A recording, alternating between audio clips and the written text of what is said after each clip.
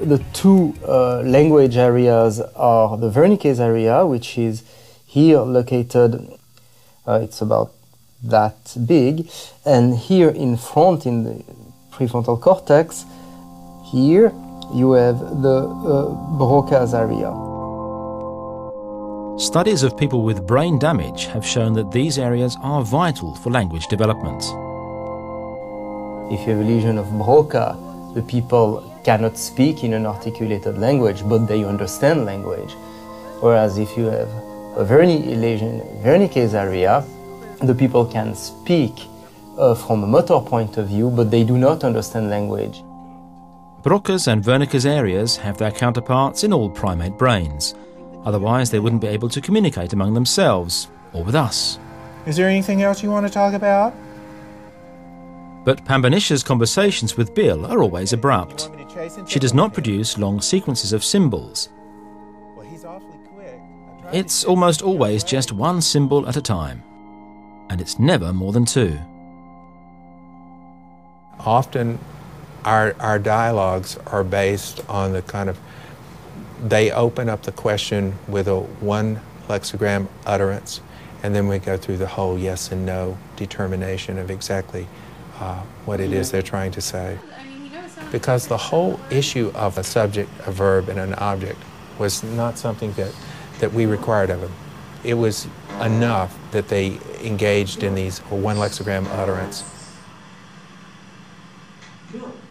Uh, these regions in, in human, again, are expanded, uh, are more complex. The neuronal substrate that permit us to communicate with an, uh, with an articulated language and understand language are missing in the chimpanzee. But there's another decisive difference between the two primate brains. So that would be the region that you see here on top here in the chimpanzee, here in the human, the frontal lobe of the human brain is vastly expanded. Our advanced capabilities are stored in the frontal areas of the brain. Memory, judgment, emotion, and, and, and all these, this type of process that are, that are uh, eventually uniquely human. It's the highly developed prefrontal cortex that allows us to perform a trick which separates us from animals, even at an early age. Here, children are asked to guess what's inside a matchbox. Having been shown the contents, they're asked another question. What will the next child say is inside the box?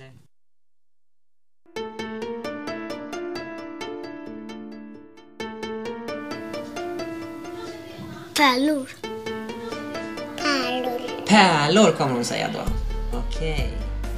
Children under the age of four have a hard time separating their knowledge from that of others. But older children have crossed a mental threshold and realize that others could have ideas that they know to be wrong. När jag frågar Gabriel vad han tror att det finns i asken, vad tror du han säger då? Jag tror att han säger också tändstickor. Också tändstickor. Mm, det tror jag med. Psychologists call this ability theory of mind and believe it to be one of the most important differences between the way chimpanzees and humans think.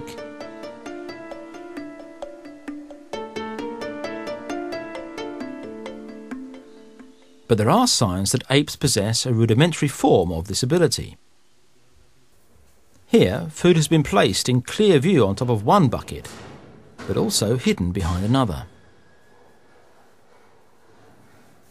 Two chimpanzees in separate rooms are waiting for the doors to open. One is dominant within the group, the other is subordinate, and only she can see the hidden food. So the subordinate can see where is the food located, while the dominant cannot. Now, when you release the subordinate, the subordinates typically go and get the food in this situation. For the next experiment, a change is implemented.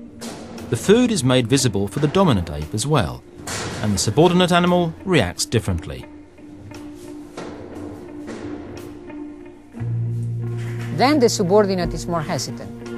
you see that subordinates go less. So they are taking into account what the dominant has seen. This shows that the subordinate ape has an understanding of what's going on in the other animal's mind.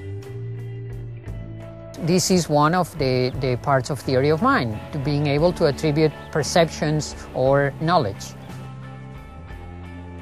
But unlike a four year old, an ape can probably never fully master the theory of mind.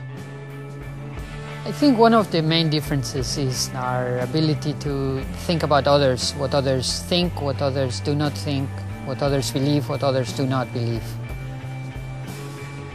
For a human child, theory of mind is the key to all the important social skills they will need in the future, from empathy and cooperation to competition and manipulation. But hold on we possess incredibly advanced language skills, the ability to build on existing knowledge, and a remarkable social brain. It's almost inconceivable that humans alone possess these abilities, when the genetic difference is only 1.7%. Our manuals are so much alike that it takes careful reading to discover any differences. The truth is, there's a lot more going on in our nuclei than previously thought. Scientists have discovered operating sequences in the DNA helix that controls our genes. A code behind the code that explains why our brain genes are more active than chimpanzees. You can think about the genome as an ocean of junk DNA with the little genes floating in it. But near each gene are special pieces of DNA that tell the gene when to come on and when to come off. These so called transcription factors decide how often a gene will be made active and how much protein it will produce.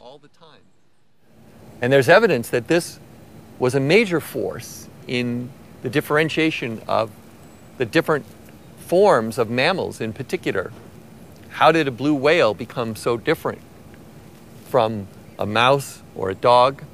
Each one has essentially the same set of genes, but they're used in very different ways.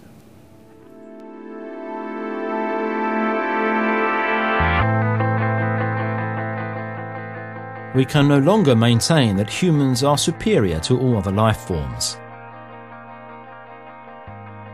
Charles Darwin and his modern day colleagues have proven that we're not the crown jewel of creation, but rather part of an ever changing world.